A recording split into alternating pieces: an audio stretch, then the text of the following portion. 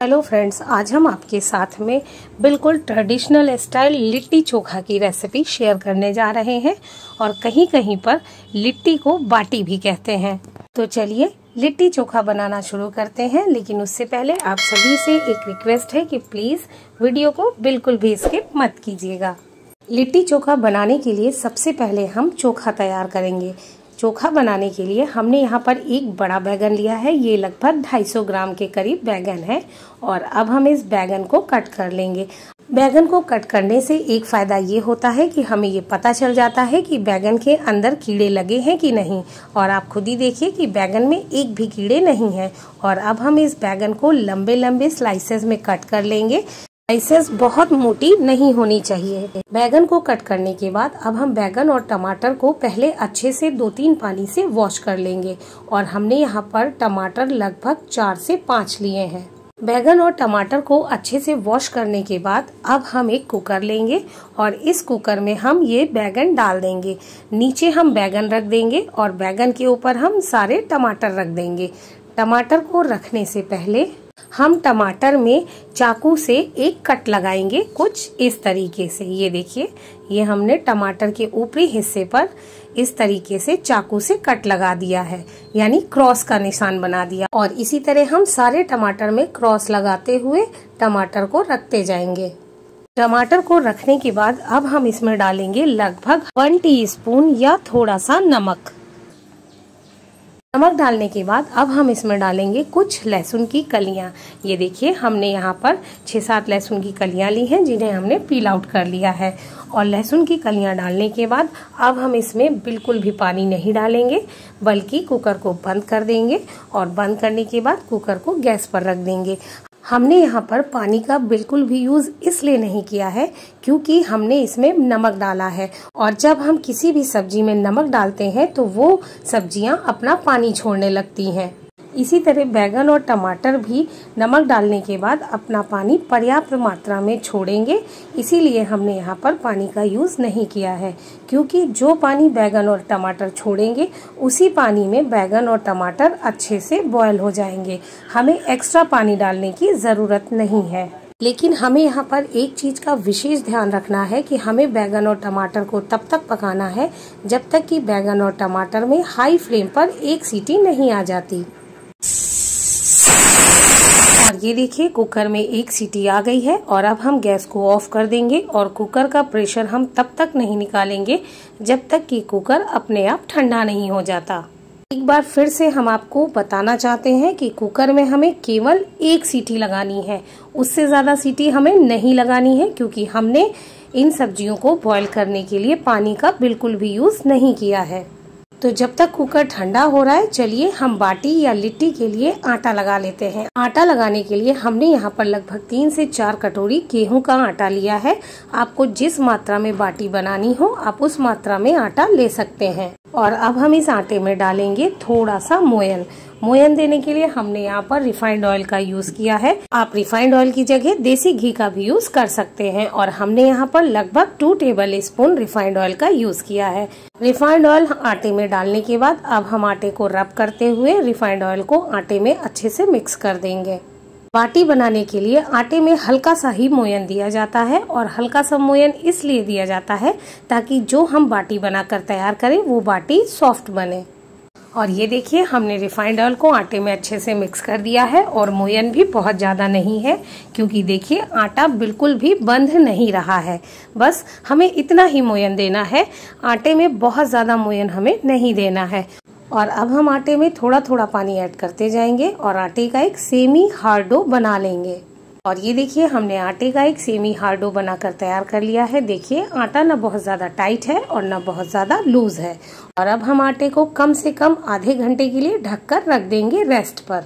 तो जब तक डो रेस्ट पर रखा हुआ है, चलिए हम आगे की तैयारी कर लेते हैं। और ये देखिए, कुकर ठंडा हो चुका है और अब हम कुकर को खोलकर चेक करेंगे कि जो हमने सब्ज़ियाँ बॉईल के लिए रखी थी, वो पक गई हैं कि नहीं। और अगर आपको दिख रहा हो तो देखिए, सब्जियों में हमने पानी नहीं डाला था, लेकिन फिर भी सब्जियों ने जो अपना पानी छोड़ा है, उसकी मात्रा पर्याप्त है।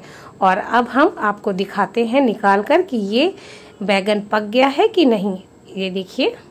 ये देखिए, देखने से ही पता चल रहा है कि बैगन बहुत अच्छे से बॉयल हो चुका है और अब हम इसे एक प्लेट में निकाल लेंगे। और इसी तरह हम सारे बैगन और टमाटर को एक प्लेट में निकाल लेंगे।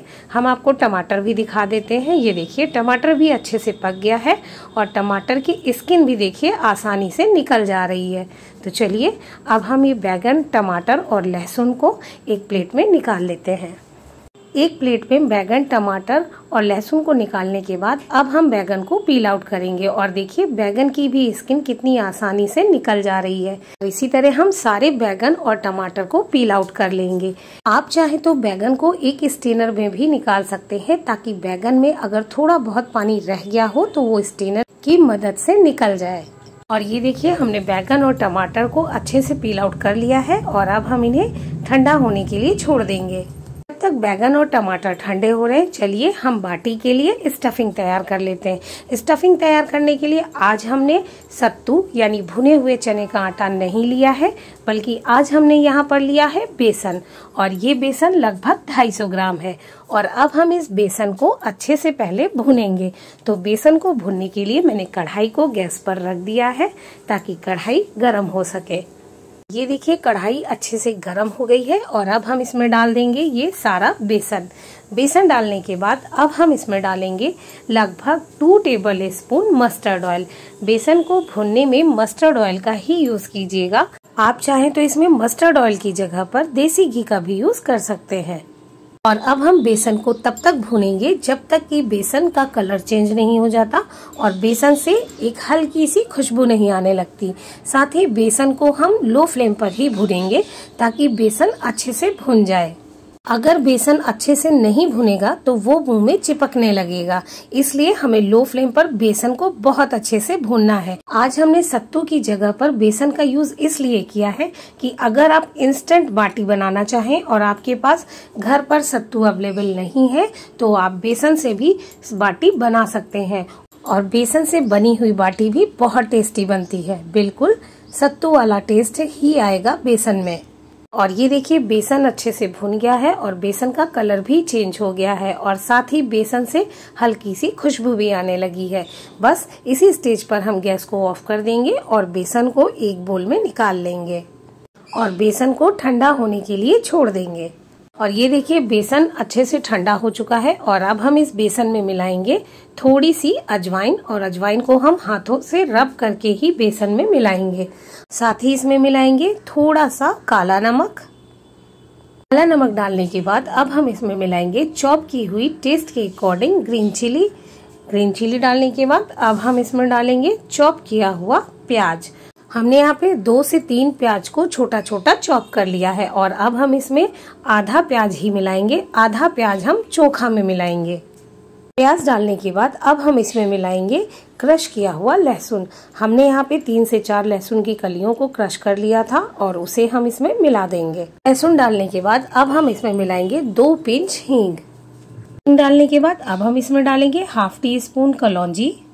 साथ ही स्टफिंग को चटपटा बनाने के लिए हम इसमें मिलाएँगे हाफ़ टी स्पून अमचूर्ण का पाउडर अगर आपके पास अमचूर्ण पाउडर नहीं है तो आप इसकी जगह पे लेमन जूस का भी यूज़ कर सकते हैं। साथ ही इसमें डालेंगे खूब सारा चॉप किया हुआ हरा धनिया।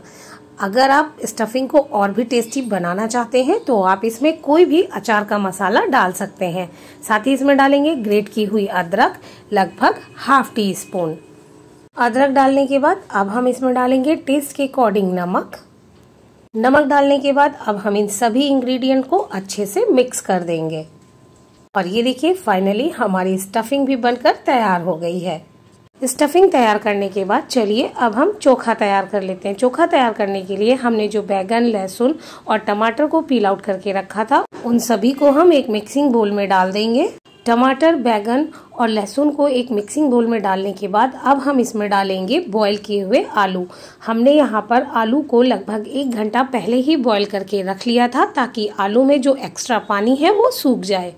चोखा बनाने के लिए बैगन, आलू और टमाटर की मात्रा को आप अपने अनुसार घटा बढ़ा भी सकते हैं। आलू को क्रश करके डालने के बाद अब हम इन सभी को पहले अच्छे से मिक्स कर लेंगे। आलू, बैगन, टमाटर को अच्छे से मिक्स करने के बाद अब हम इसमें डालेंगे ग्रेट की हुई अदरक, लगभग हाफ़ टेबल स्पून साथ ही इसमें डालेंगे टेस्ट के अकॉर्डिंग चॉप की हुई ग्रीन चिली। ग्रीन चिली डालने के बाद अब हम इसमें डालेंगे चॉप किया हुआ प्याज। अगर आप प्याज नहीं खाते हैं तो आप लहसुन और प्याज को स्किप भी कर सकते हैं। साथ ही इसमें डालेंगे टेस्ट के अकॉर्डिंग नमक। नमक डालने के बाद अब हम इसमें डालेंगे खूब सारा चॉप किया हुआ हरा धनिया। हरा धनिया डालने के बाद अब हम इन सभी को अच्छे से मिक्स कर देंगे। सभी इंग्रेडिएंट को अच्छे से मिक्स करने के बाद अब हम इसमें डालेंगे एक खास चीज़ और वो है मस्टर्ड ऑयल हम इसमें लगभग टू टेबल स्पून कच्चा मस्टर्ड ऑयल डालेंगे। आप चाहें तो मस्टर्ड ऑयल को पहले अच्छे से बॉईल कर लीजिए जब तक उसमें धुआँ नहीं निकलने लगता और उसके बाद मस्टर्ड ऑयल को ठंडा कर लीजिए और उसके बाद उसे चोखा में डाल सकते हैं। लेकिन कच्चा मस्टर्ड ऑयल डालने से चोखा का टेस्ट कई गुना बढ़ जाता है। और अगर आपको चोखा चटपटा कम लगे तो आप इसमें थोड़ा सा लेमन जूस भी डाल सकते हैं। हम यहाँ पर लेमन जूस का यूज़ नहीं कर रहे हैं क्योंकि हमने जो टमाटर का यूज़ किया है वो काफ़ी खट्टे हैं। और ये देखिए फाइनली हमारा चोखा बनकर भी तैयार हो गया है। तो चलिए ट्रेडिशनल स्टाइल बाटी बनाना शुरू करते हैं। बाटी बनाने के लिए हमने यहाँ पर एक लोहे का तसला लिया है और इस तसले में हम डालेंगे गोबर की कंडी। कंडी को हम तोड़ तोड़ कर, छोटा करके एक के ऊपर एक लगाते जाएँगे कुछ इस तरीके से। तो आज बाटी मेरी मदर इन लॉ बनाएँगी और मेरी मदर इन लॉ खाना बहुत टेस्टी बनाती हैं। तो ये देखिए, उन्होंने बाटी बनाने के लिए कंडे तैयार कर लिए हैं और अब हम इस कंडी में डालेंगे थोड़ा सा सैनिटाइज़र क्योंकि इस समय मिट्टी का तेल यानी कैरोसिन ऑयल बिल्कुल भी नहीं मिल रहा है। सैनिटाइजर डालने के बाद अब हम इसे जलाएँगे कुछ इस तरीके से। और अब हम इसे जलने देंगे, तब तक जब तक इसमें ये आग निकल रही है। जब आग निकलना बंद हो जाएगी, तब ये कंडे बाटी के लिए तैयार हो जाएँगे। तो जब तक कंडे बाटी के लिए तैयार हो रहे हैं, चलिए हम बाटी बनाकर तैयार कर लेते हैं। बाटी बनाने के लिए मेरी मदर इन लॉ ने डो से थोड़ा सा डो कट कर लिया है और उसके बाद उस कट किए हुए डो को हम लंबा शेप देंगे, लंबाई के शेप में लोई बनाएँगे इस तरीके से। और उसके बाद जितनी बड़ी हमें बाटी बनानी है उतनी छोटी छोटी लोइयाँ हम कट कर लेंगे। कट करने के बाद हम लोई का लड्डू बनाएँगे और उसके बाद उंगली और अंगूठे से दबाते हुए लोई को बढ़ाएँगे और एक कटोरी का शेप देंगे कुछ इस तरीके से। लोई को कटोरी का शेप देने के बाद अब हम इसमें भरेंगे लोई के हिसाब से स्टफिंग और स्टफिंग भरने के बाद हम लोई को बंद कर देंगे। ये देखिए इस तरीके से और फिर उसे लड्डू बनाएँगे। और लड्डू बनाने के बाद उसे हम हल्का सा प्रेस करके रख देंगे। ये देखिए, हमारी पहली बाटी बनकर तैयार हो गई और इसी तरह हम सारी बाटी बनाकर तैयार कर लेंगे। चलिए, एक बाटी हम और बनाकर दिखाते हैं। ये देखिए लोई को हमने कटोरी का शेप दे दिया है। और कटोरी का शेप देने के बाद हमने फिर से इस लोई में स्टफिंग भर दी है। स्टफिंग भरने के बाद हमने लोई को चारों तरफ़ से अच्छे से बंद कर दिया है। बंद करने के बाद हमने लड्डू बनाकर हल्का सा प्रेस कर दिया और ये दूसरी बाटी बनकर भी तैयार हो गई। और इसी तरह हम सारी बाटी बनाकर तैयार कर लेंगे। और ये देखिए कंडे कितने अच्छे से जल रहे हैं और जब इन कंडों से ये आग की लौ निकलना बंद हो जाएगी, तब ये कंडे बाटी बनाने के लिए तैयार हो जाएँगे। और ये देखिए, कंडों से आग की लौ धीरे धीरे कम होने लगी है और साथ ही हमने सारी बाटियाँ भी बनाकर तैयार कर ली है। और ये देखिए, कंडों से आग की लौ निकलना बिल्कुल कम हो गई है और कंडों में आग बनी हुई है। बस थोड़ा सा कंडों को हम तोड़ देंगे और हल्का सा उन्हें फैला देंगे। बहुत ज़्यादा नहीं फैलाएँगे, नहीं तो कंडों से आग खत्म हो जाएगी। और अब हम इस आग में जो हमने बाटी बनाई थी, उन्हें रख देंगे। जितनी बाटी इन कंडों में आएँगी, उतनी ही बाटी हम इन कंडों की आग में रखेंगे।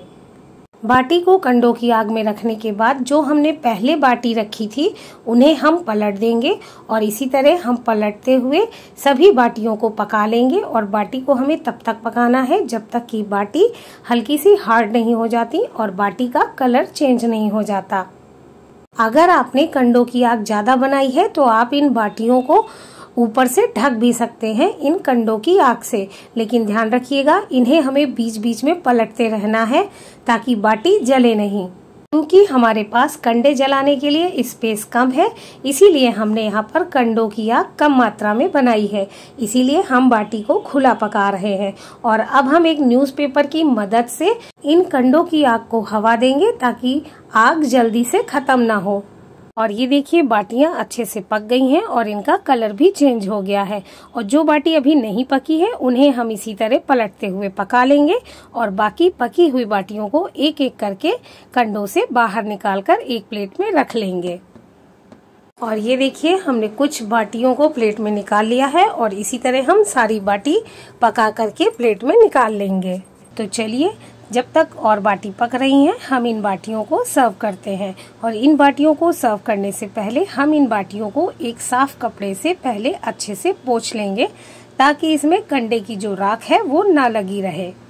और ये देखिए, जो बाटी बनकर तैयार हो गई थी, उन्हें हमने एक साफ़ कपड़े से पोछ लिया है। और देखिए, कितनी सुंदर बाटी दिख रही है। चलिए, अब हम इन्हें सर्व करते हैं। ये देखिए फाइनली बाटी चोखा बनकर तैयार हो गया है। बाटी को सर्व करने के लिए हम बाटी के बीच में एक छोटा सा होल कर देंगे और इस होल में हम भरेंगे खूब सारा देसी घी। बहुत से लोग कटोरी में मेल्ट करके देसी घी ले लेते हैं और बाटी में होल करके इस बाटी को उस भरी हुई देसी घी की कटोरी में डुबो देते हैं और उसके बाद निकाल लेते हैं। तो आप चाहें उस तरह भी बाटी को सर्व कर सकते हैं, लेकिन हेल्थ कॉन्सियस लोग इसी तरह बाटी को सर्व करते हैं। तो आप चाहे तो बाटी को घी में डुबो कर सर्व कीजिए, या आप चाहे तो बाटी में ऊपर से घी डालकर बाटी को सर्व कीजिए। आप लोगों को हमारी ये ट्रेडिशनल स्टाइल बाटी और इंस्टेंट चोखा की रेसिपी कैसी लगी, हमें कमेंट करके ज़रूर बताइएगा। और इस रेसिपी को एक बार अपने घर पर ज़रूर ट्राई कीजिएगा। तो आप लोगों को हमारी ये बाटी चोखा या लिट्टी चोखा की रेसिपी पसंद आई हो, वीडियो अच्छा लगा हो तो प्लीज़ हमारे वीडियो को लाइक करना शेयर करना और हमारे चैनल से जुड़ने के लिए प्लीज़ प्लीज़ प्लीज़ हमारे चैनल को सब्सक्राइब करना मत भूलिएगा। और नोटिफिकेशन के लिए बेल आइकन को ज़रूर प्रेस कीजिएगा ताकि हमारे आने वाले वीडियोस की नोटिफिकेशन आप तक सबसे पहले पहुँच सके। अगर आपको जानना है कि दाल बाटी चूरमा कैसे बनाया जाता है तो उसका वीडियो मैंने पहले ही अपने चैनल पर अपलोड कर दिया है, जिसका लिंक मैं डिस्क्रिप्शन बॉक्स में दे दूँगी। आप वहाँ से देख सकते हैं। और उस वीडियो में मैंने तीन आसान तरीके से बाटी को बनाना बताया है। तो प्लीज़ उस वीडियो को ज़रूर देखिएगा। तो चलिए, अब हम आपसे मिलते हैं अपनी अगली रेसिपी में। तब तक के लिए bye bye and take care